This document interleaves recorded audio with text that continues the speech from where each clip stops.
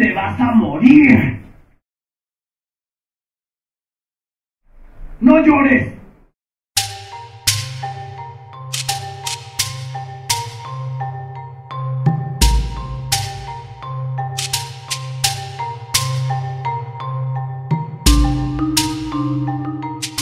En el caso de la realidad virtual, para la mayoría de los estudios controlados que se han realizado, se ha demostrado que es igualmente efectiva que la terapia con fármacos, por ejemplo, lo cual es un hallazgo muy importante. La terapia que nosotros damos en el corte cognitivo-conductual, que es precisamente la que es más recomendada para el caso de los trastornos de ansiedad, como son las fobias, como es el estrés postraumático, el trastorno obsesivo-compulsivo, pero además es una terapia eh, que tiene un 80% de efectividad.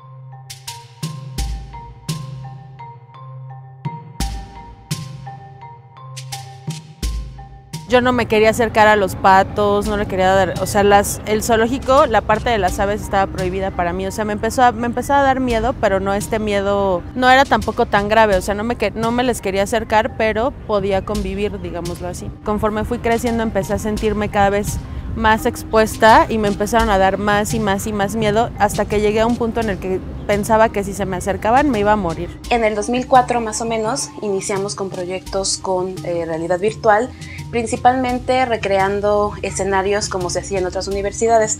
Muy en específico lo hacíamos con la Universidad de Jaume I, que es una universidad española, y ellos comenzaron eh, realizando escenarios y tratamiento y nosotros iniciamos la investigación replicando estos escenarios. Ya estaba yo, te digo que muy mal, o sea, mis compañeros de trabajo de repente íbamos a una junta a otro edificio o algo y yo me atravesaba literal, o sea, decía, qué horror, no puedo estar, no puedo estar aquí expuesta a las aves. Una de las principales ventajas de la realidad virtual es que yo puedo recrear un escenario con los elementos que el paciente necesita, sin importar que a lo mejor no siempre sean tan natural. Y la verdad es que sí, yo también era, estaba un poco escéptica al principio, o sea, decía, ¿cómo con terapia virtual? ¿Cómo va a ser esto? O, obviamente, la verdad es que también pensé en algún punto la animación no es la vida real, ¿no? Entonces, este, estaba, no un poco, sí estaba muy escéptica, pero sí, o sea, como que me sorprendió gratamente porque sí me la quitó.